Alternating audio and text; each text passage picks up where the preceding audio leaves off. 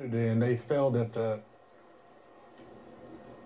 Right. So let's talk about the inner city that are run by Democrats here. If you put affordable housing in the inner city, and then you send all the jobs overseas to China, and you let illegal immigrants come in and take the rest of the jobs, people can't work.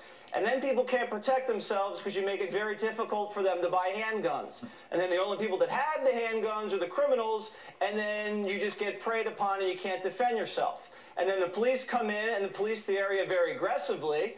And anytime there's a bad apple, the union won't let you discipline the bad apple. And the police chief is in the pocket of the liberal mayor. And then the liberal mayor says you can't send your son and daughter to a better school. And then every election, they blame Yeah. white Republicans that don't even live in the city and don't control any of the levers of power. And that's how the game's played. That's why.